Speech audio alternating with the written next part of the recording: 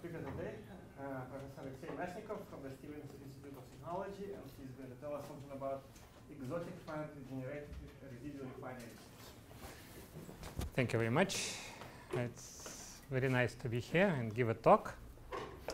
And since it's recorded, I will say something inappropriate, usually. Um, so it's two parts.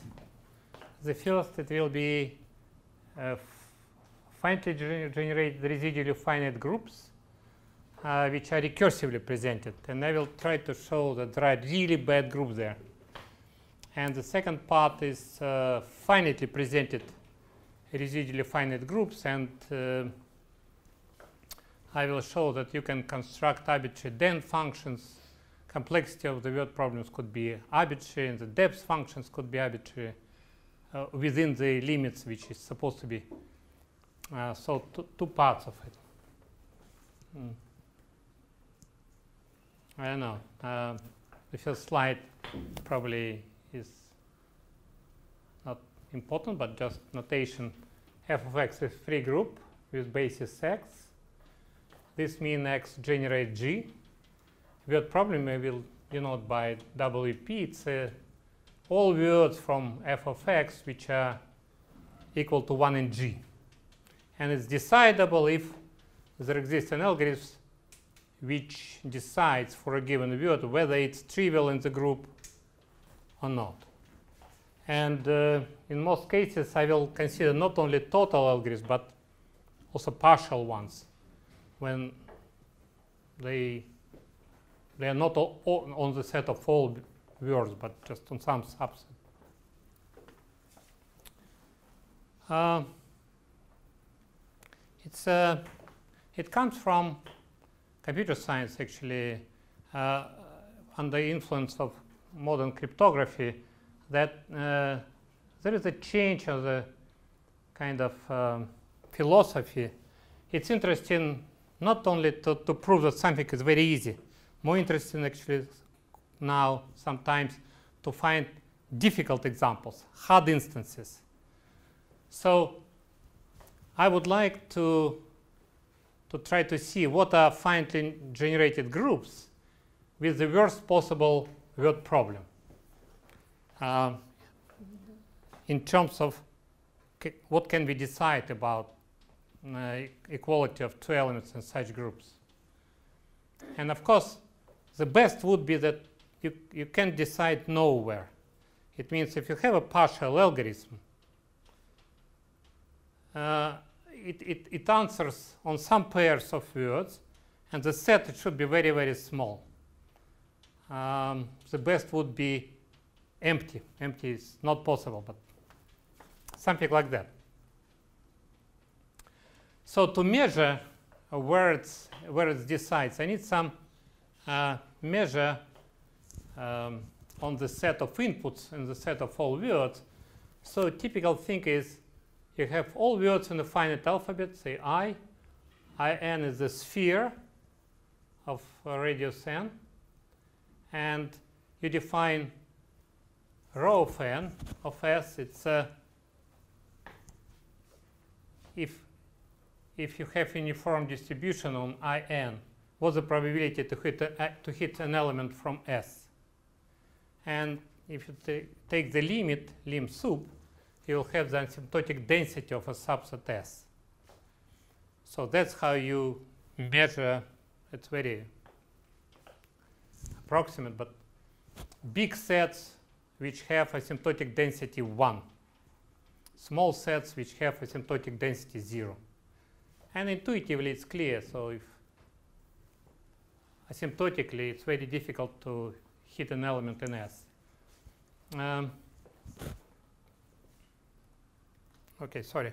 Uh, one more thing, it's not on the slide, but it could be in principle that the limit is 1, but uh, it goes to the limit very, very slowly. So it's not very uh, practical. So I will say it's strongly generic set. So asymptotic density 1, its set is generic. It means most of of the set of inputs. Strongly generic or exponentially generic if converges and exponentially fast. Means very quickly this frequency is close to 1.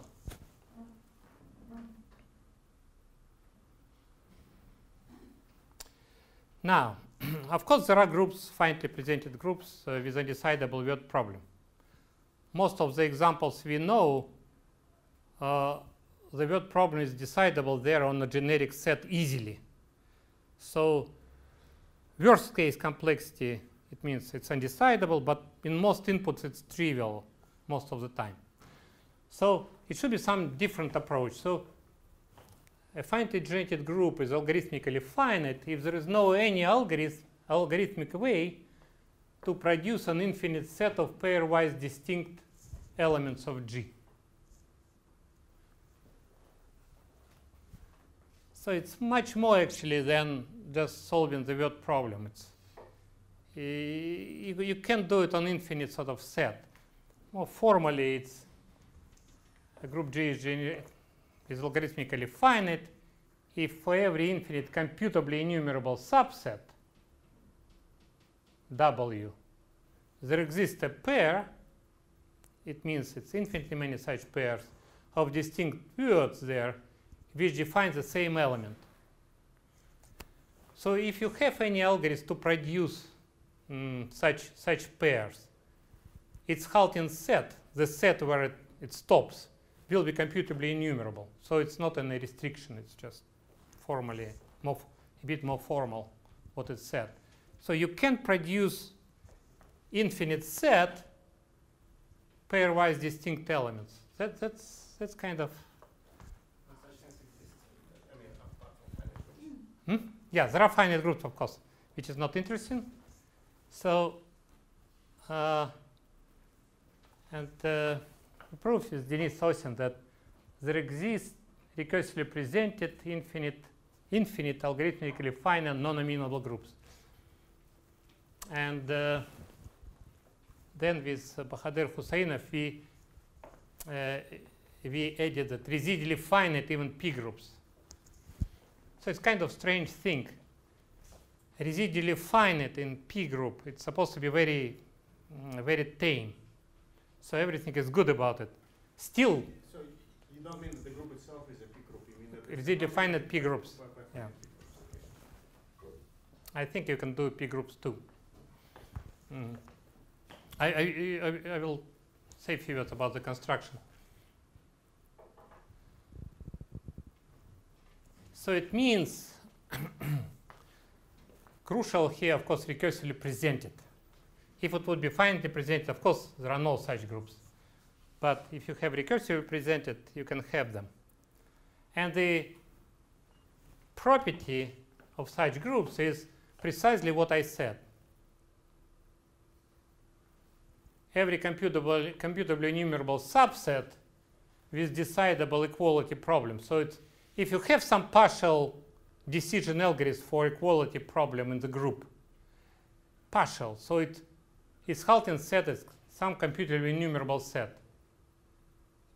It decide equality problem. It's negligible. It means its asymptotic, asymptotic density is zero. And if the group is non-amenable, then it's actually exponentially negligible. So it, it goes to zero exponentially fast. In other words, you really can't decide almost, you can decide nothing on these groups in terms of the word problem. That's, uh, that seems like the worst possible example. Uh, of course, uh, there is there is a can we construct finitely presented ones or not? That's a question. And it's very, easy to see that every infinite algorithmically finite group is periodic. Because if you take arbitrary word and consider its powers, of course it's computably enumerable because you can. So since algorithmically finite, two such powers should define the same word, the same element in the group. So every element is periodic. So constructing finitely presented infinite algorithmically finite group in particular will give you a solution to very old and big problem to construct infinite periodic finitely presented group if it exists. So improvement possible, but cannot be easy. So we call such problems, and now it's in recursion theory, people use this term, absolutely undecidable. It means whatever is decided, measure zero. Mm. And what we, it's, uh, to construct them, we used uh, Golod-Shafarevich construction of infinite periodic groups, modification, of course.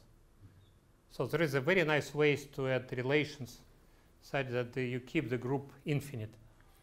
And how you do, how you add relations, it's a post-construction of Im immune sets or simple sets from recursion theory. So you combine two things and, and you got these groups. Interesting part is there are Turing machines there some, somehow, but they are not universal Turing machines. Universal Turing machines, that's the main source of uh, undecidability or hardness in, in group theory quite often.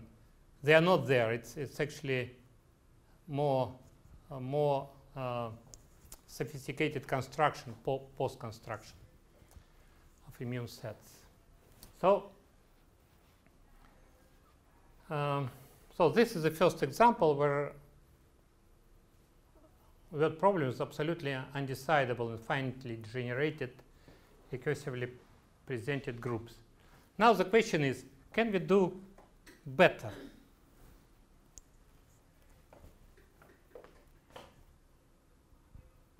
Ah, that's, that's yeah, I, I said that. I, I, didn't mean this.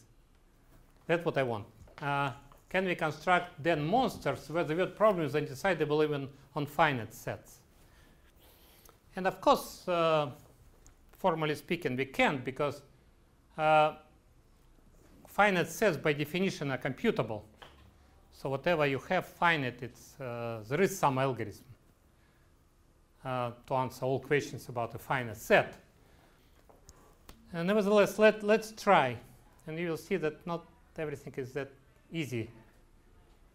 So I need a little bit of uh, some definition. If you have a finite set, by d of s, I don't know, the size of a shortest Turing machine program that enumerates S. It's like Kolmogorov complexity, just for finite sets. People didn't consider it, but it's convenient in this uh, framework. So then you can consider compression. It's a cardinality of S, finite set, sets are finite, divided by the size of the shortest Turing machine program which enumerates S. And, and it's easy to see that you can construct effectively a sequence of finite sets such that compression grows as much as you really want. So there are a lot of compressible sets. That's what I'm saying. In any case,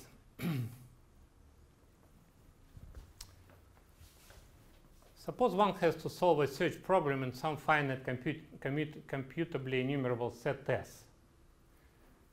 If the size of S is about the same as the size of the program, shortest program, a shortest program for S,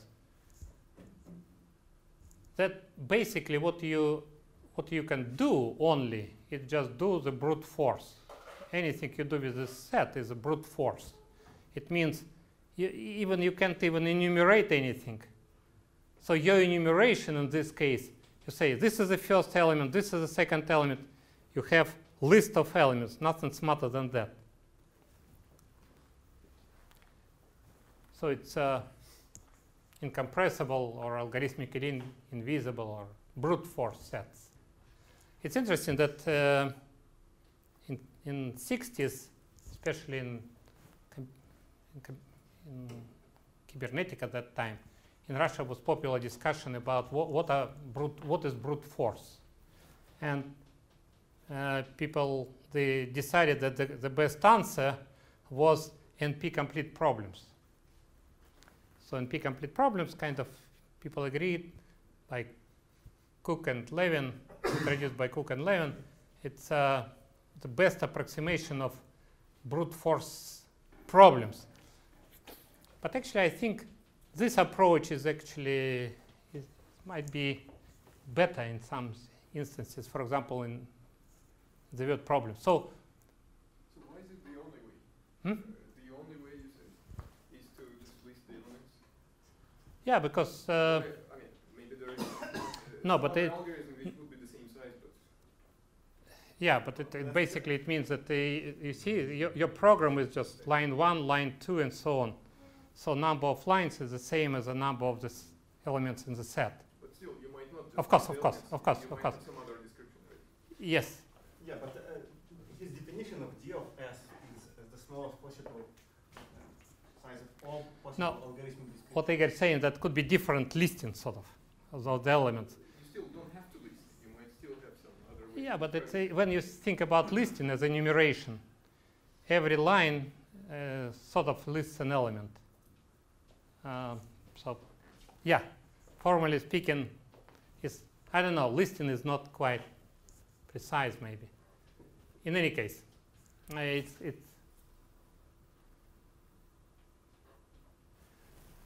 If you think about computability, if the space is if you're trying to solve word problem or something else on a search space, like in cryptography, you're trying to, to break a key. If the space is large and incompressible, then you can actually, you cannot even to show this program to, to your computer because it's too long. So, so it's, it's not about computation even, it, it's, uh, it's just too long to, to represent it for your computer.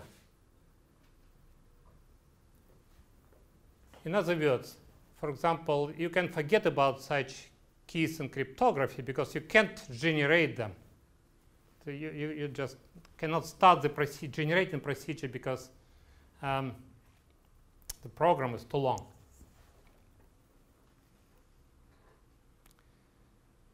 So from my viewpoint, in computer world, such incompressible finite sets, it, they're just not there. You can forget about them. But if you forget about them, you can prove the, the following theorem, which is improvement on. It's much, much worse than the Dehn monsters we constructed with Denis Osin and Khader Khoussainov. There exists a finitely generated, recursively represented finite, residually finite group and a constant c, such that for every, in this case, finite or infinite computably enumerable set, if its size is larger than double exponential, double exponent of uh, its description, Kolmogorov description, then there exists a pair of distinct words in this set which define the same element. So you can get rid of infinite sets. You can actually do more. You just need to do for brute force sets. Unfortunately, here double exponent.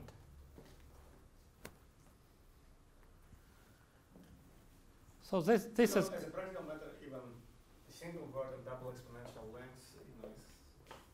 Oh. no, it's uh, the set. yeah, yeah, but I'm thinking about like you take a random word of length n and you take the set of all prefixes, uh, right? You know, Oh. So that's roughly speaking, of cardinality n, but uh, if this n is itself some kind of double exponential, so that's Yeah, right. often beyond the computational capacity Yeah, sure. right? Unless there is kind of very, very much recursion in this, in this word. So um, it would be interesting to, to get to one exponent.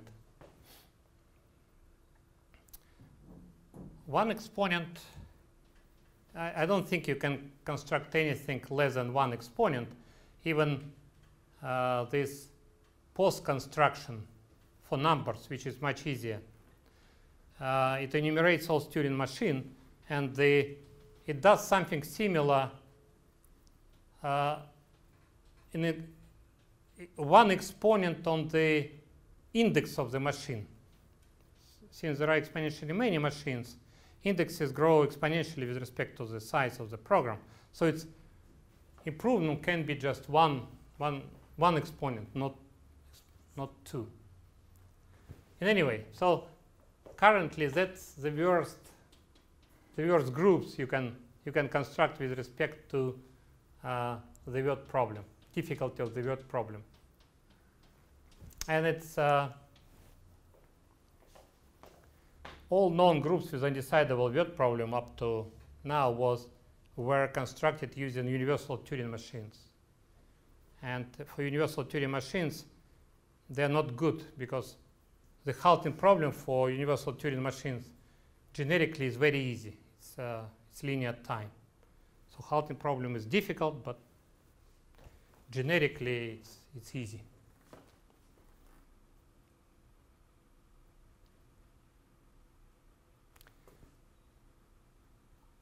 Okay, that's uh, that's the, the there are applications of this group now. I don't want to get into it, but um, that's the worst possible group uh, which are recursively presented, residually finite. Now I would like to talk about finitely presented residually finite groups. Uh, so there are several um, standard questions. How hard could be the word problem? In, I don't know what is f. There is no f here. In G. How large could be the Dehn function of G? How large could, could be the gap between the complexity of the word problem and the Dehn function? and what is the time complexity of the classical McKinsey-Maltsev, should be McKinsey-Maltsev algorithm for the word problem. I will discuss it. And how large could be the depth function? Uh, so the second part is uh, based on joint results with Olga Kharlampovich and Mark Sapir. And I will try to explain what, what, we get, what we've got here. So all the problems basically we solved all the questions like that we solved. It could be the word problems. So the groups are residually finite and finitely presented. The word problem is always decidable. But within the realm of computable functions, it could be arbitrary high, arbitrary difficult. Arbitrary large recursive Dehn functions, arbitrary large gaps, arbitrary large depth functions. And the groups happen to be solvable of class 3, even though we didn't, we didn't, we didn't need it really. What we wanted is finitely presented. So, as a motivation, even though the questions which uh, I just considered, they, they are, some of them are part of geometric group theory, which is not related really to computation, but still.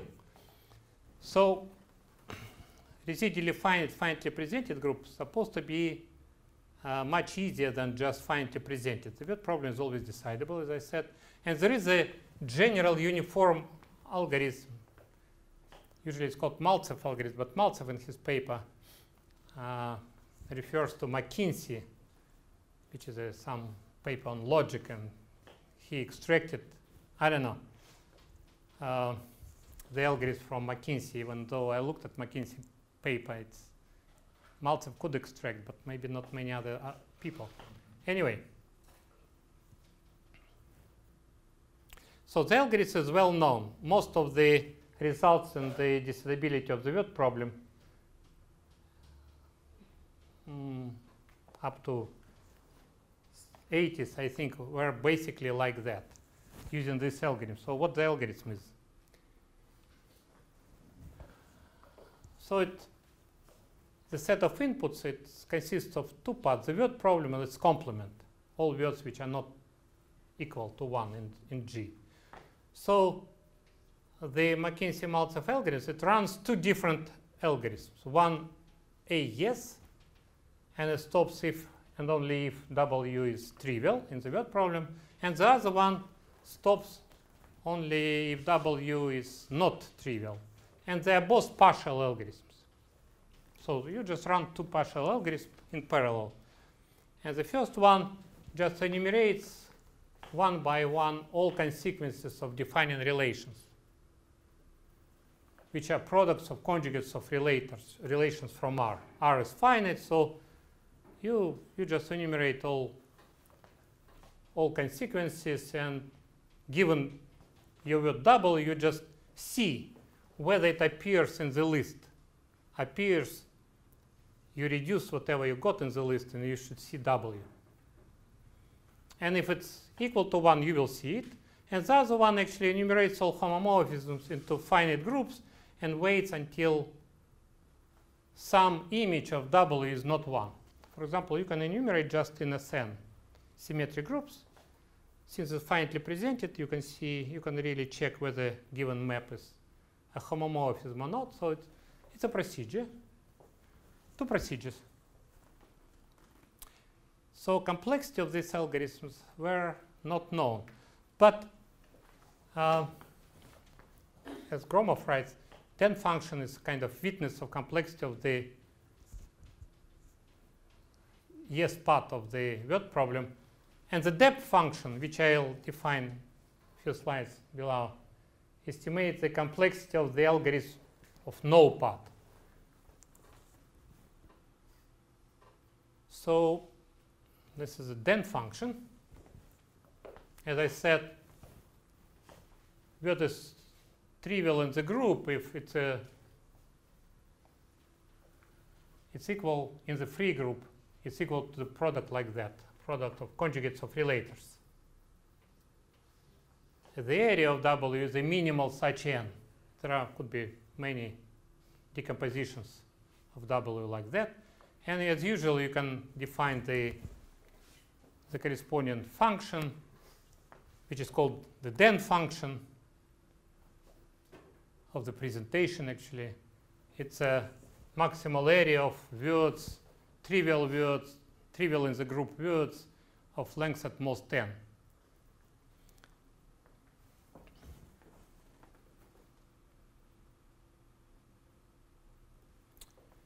And the depth function somehow formally I think people, of course, considered it before, but formally was introduced and studied by Bou-Rabee just several years ago. So what is this?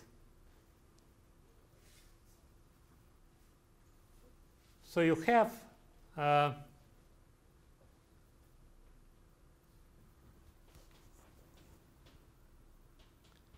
so your group G, we assume it's uh, residually finite, and it's the smallest number such that two words not equal in the group of length at mon, most n are separated by a homomorphism uh, to, to a finite group H of, of size this number.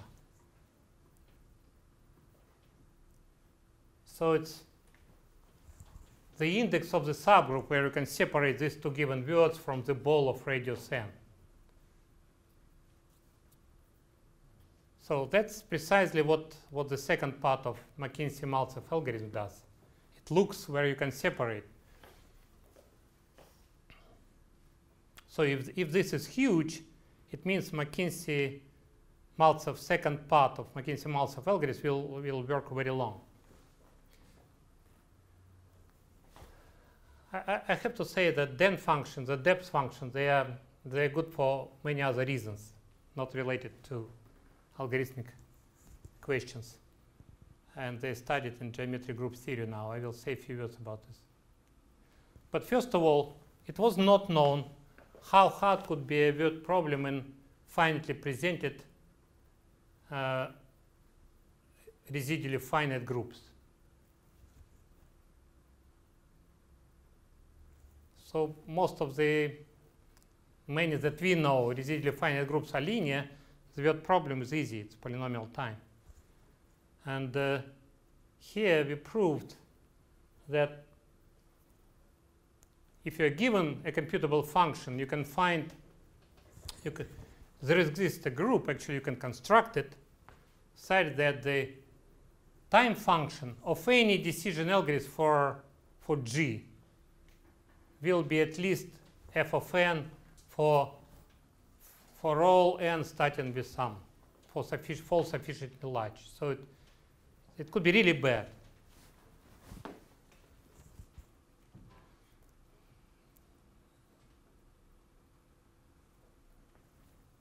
So the Dehn function.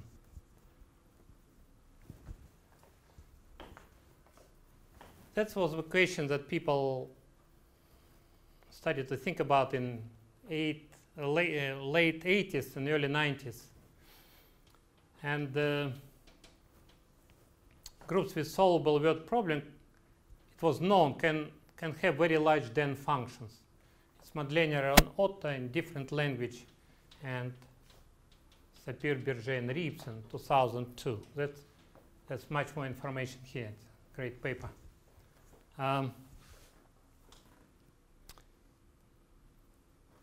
if you consider just not arbitrary groups, but residually finite, strangely, the best what was known is just exponential Dehn function. Nothing more than that. And even for linear groups, uh, question of Gersten, is there a uniform upper bound for Dehn functions of linear groups? So it's not known. Uh, I'm not saying exponential or something, just any comp computable bound. It turns out it's uh, still open and it's wide open. And what is interesting about residually finite groups, all methods to construct finitely presented groups with high Dehn functions that were known before, they produce non-residually finite groups. And it's, it's very easy to see so quite often. It's, uh, there is a Bridson, uh, basically how to produce high uh, Dehn function you, you take a group with a highly distorted finitely generated subgroup and do something like HNN extension. And then the, the word problem will be distorted a lot. So, it, so there are several known things. It's uh, starting with Boone-Novikov constructions, where you have a Turing machine and you construct a group, or Mikhailova construction, when starting with finitely presented group, you construct some other group, or Rips construction, or, or Bridson Haefliger constructions. So we just checked all of them to produce non-residually to, to produce residually finite. You need to start with residually finite, which was already would be good. For example, Rips construction starts with some finitely presented group.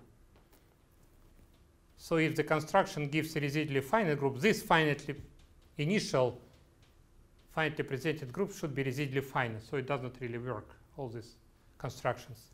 So it should be something new. Um, so a couple of examples. The famous Baum-Sachs solitaire group, metabelian.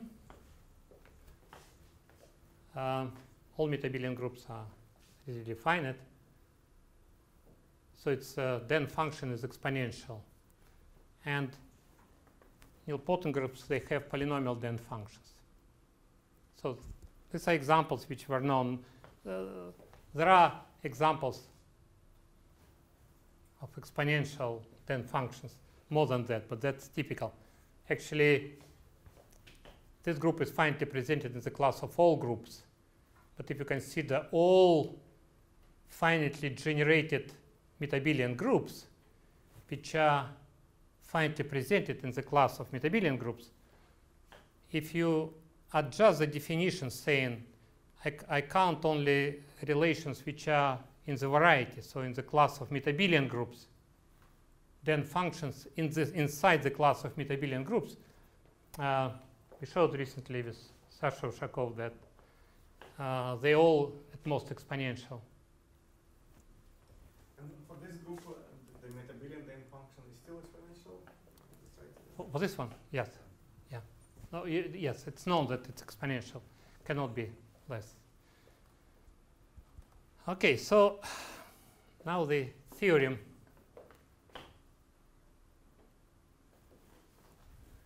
Supposed to be, oops. I wanted to put item by item, but in any case. So the first item shows that given a recursive function, computable function f, there is a residually finite, finitely presented, happen to be solvable of class 3 group G, such that its Dehn function at least fn for almost all n. In other words, it, it could be arbitrary high computable function. So its Dehn functions are actually could be really, really large.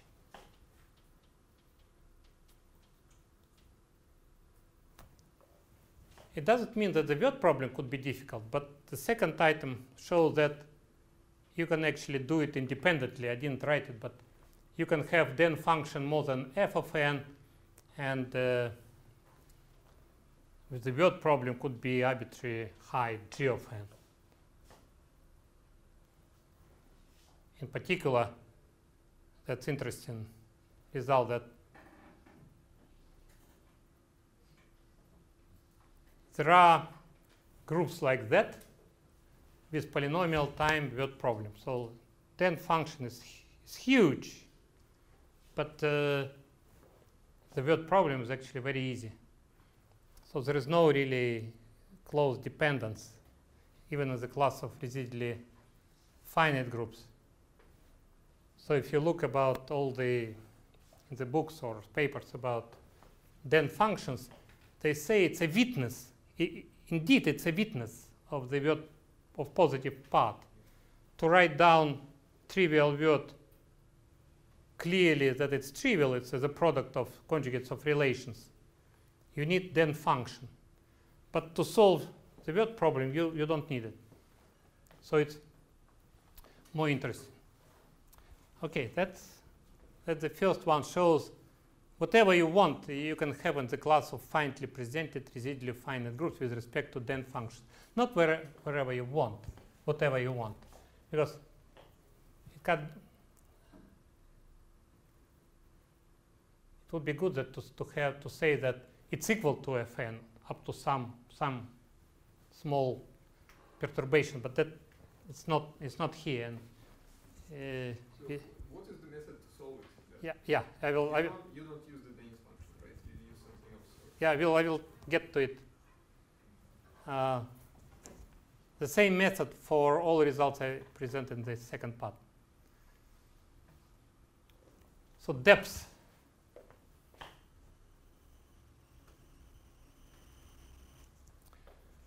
So you can have re residually finite, finitely presented group with arbitrary large depth function. So to separate into finite group, you can it, it will you have to go very far, as far as you as fn arbitrary computable function. In particular, McKinsey algorithm. In some cases, it, it works as long as you want.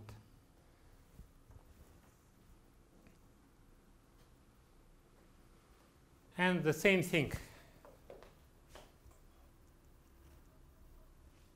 for the word problem and the same thing for the so depth function is not related to the is not very much related to the complexity of the word problem again the same thing. You can have polynomial time word problem and very huge then uh, depth function. So you can get all these combinations.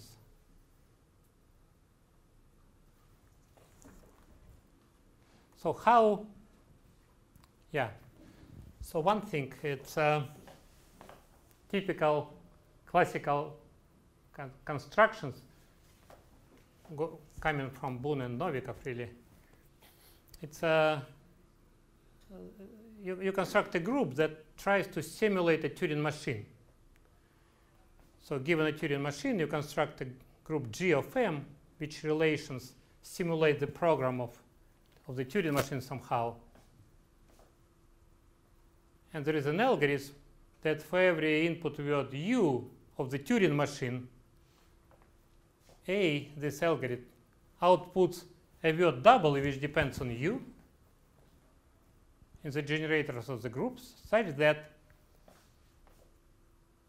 M halts on u if and only if double u at u is equal to 1 in GM. In other words, it, it relates the halting problem for the Turing machine with the word problem in the group. And uh, Mark has uh, kind of huge interesting machinery, uh, so-called S machines. So Turing machines are sometimes very difficult to simulate by relations. So there are so he constructed S machines which are much easier to simulate in groups. But there is a very concrete reason why it almost never gives a, a, a residually finite group.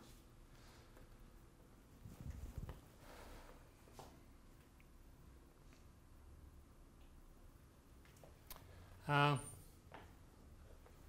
so what we do, we use a different construction due to Olga Kharlampovich of a finitely presented solvable group which is undecidable word problem. That's what he, she did.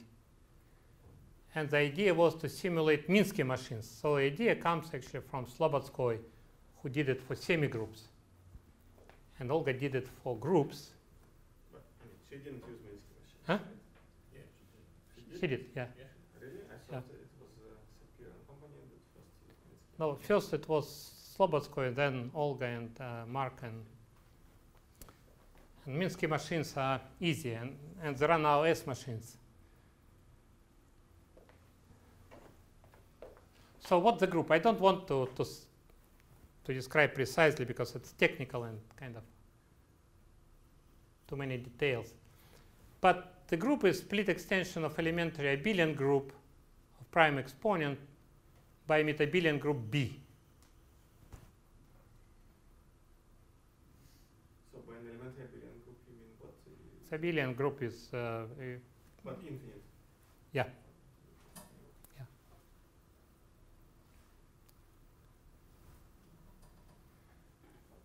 So the structure of the group is kind of simple. It's you have a abelian group extended by metabelian, and machine somehow works there. If you look at all the constructions used before, the word W of U always obtained by the word W, which corresponds to the empty word for Turing machine, and then you put in uh, U inside, configurations for U. And it, and it, it, that never works. So this is kind of different idea. So we used Olga's construction, but in slightly, and it's actually in quite different way. Um, So we need Minsky machine and machine which is symmetrically universally halting. So they are halting all the time in, in, in computation go from input to the final and back. So everything is halting and unique sort of. And these machines, I don't want to, to get to the definitions, but you can characterize them as whose transition graphs. What is transition graph? you, you have vertices set of configurations and edges are the transition from one configuration to another by a, a, an instruction of the Minsky machine. So such configuration graphs or transition graphs, they're just disjoint unions of finite trees. There are a lot of finite trees, so everything is finite, but it's kind of the computation process is disjoint. And since com all components are finite, the group that you get will be always residually finite. That's the idea. So if you look how, how it works, that's the main thing. And another thing is that any computational device, like a Turing machine or a Minsky machine, can be simulated by such machines. It's interesting that if you take arbitrary machine M, the group may not be uh, residually finite. But if you take computationally equivalent machine, which is symmetric universally halting machine, the corresponding group becomes residually finite for sure.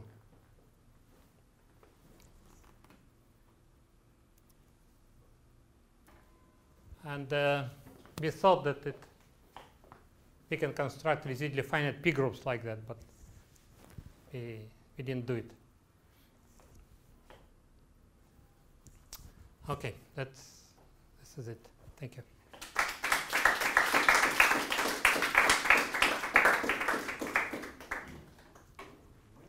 Are there any questions? Is anything known about the Dehn function for polycyclic groups? Ah, That's a good question. So no, I don't know anything. We can finally generate important bits. Yes, yes, we know. But uh, very simple. Just even like if it's power power bound, groups. do Hmm? you know uh, how bad they can be? No, for no. So uh, that's a very good question. So we know what's going on in nilpotent groups.